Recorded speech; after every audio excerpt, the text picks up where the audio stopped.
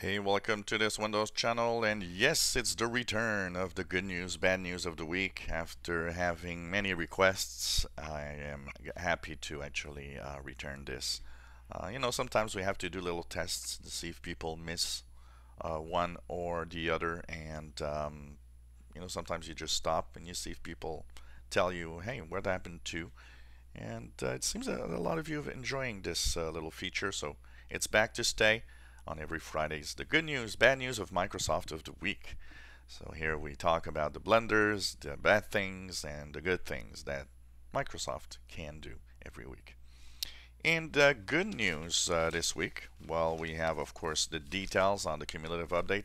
That was the first cumulative update that was not on a patch Tuesday that had these details. And that was interesting because usually we had details on patch Tuesday's updates but we did not have any details on the cumulative updates that we had in Windows. Now this week we had a cumulative update and well it actually is detailed what it does and uh, I think that's cool and it's cool to see that Microsoft listens to what we want and uh, that's very interesting. Also in the good news this week Microsoft taking the side of Apple that is kind of surprising in a way and not because the Apple versus FBI case has a deep impact on all technology. So Microsoft will also be asked to give an unencrypt, unencrypt you know computers and phones and all sorts of uh, devices if Apple loses this case. So it's nice to see that they've uh, actually gone to help Apple out and actually even uh, released a few uh, papers, apparently legal papers, to send to uh, help um, Apple against the FBI. So that's pretty cool. And another tidbit of good news uh, is that the cumulative update we had this week, um, I, I, I, see it with my own clients. There are a few of my clients that had some glitches, but you know they didn't want to necessarily um, you know ask me to go and check it out, so they they just lived with it a little bit. And a few of them have called me to say, hey, I've had some problems.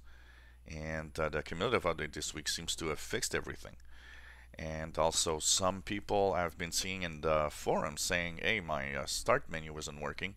And since the cumulative update this week, it's back to normal. You know, this cumulative update has a lot of bug fixes. It's not a security issue. Uh, it's really mostly bug fixes for all sorts of Windows 10 little glitches. So I think that uh, if you have a few problems or you know if you had problems with Windows 10 I think this update really will help you in getting a more stable uh, Windows 10 for those that had problems. Uh, in my case I don't really have any problems right now so it you know just was an update like anything else. And of course uh, check it out might fix some of the glitches you've been uh, seeing. On the bad news of Microsoft this week. What the hell does Bill Gates do when saying, hey, uh, no, I support FBI and the FBI versus Apple case? Look, you're director of the board, you know, he's a member of the, the, the board of directors at Microsoft. I think Bill Gates, you know what, it's time to retire from there. Leave Microsoft alone. It's going in a direction, a new direction, very different from what it was before and you know just continue with your philanthropic stuff and give your billions away to the world to help in some ways. I think uh, that's you know that's what you do best and i think that's what you should do bill gates. I'm sorry but uh, your time at microsoft personally i think should be over. And so uh, stop saying anything like that especially going against microsoft also. That's kind of uh, interesting. And of course another little bad news for uh, Microsoft is the fact that we've learned a little more details this week. We've learned details that, okay, Redstone, well, still in June, so we know that the Redstone, first Redstone wave or update will be this June. But it does seem that, um, sorry, it does seem that um, the major new features of Redstone will only be in the spring of 2017. So we'll have a lot less to view in this update in June, which is kind of interesting and a little sad. Uh, you know, we were expecting a lot on that Redstone update. Now, the more we learn, the more it seems it's going to be a, it's a smaller update for Windows 10. So it's going to be interesting to see what actually is new in that Redstone update in June. And in another little tidbit of bad news this week, of course, is Microsoft finally saying, hey, yes, we are killing the Android bridge to Windows 10. We're not going to support that.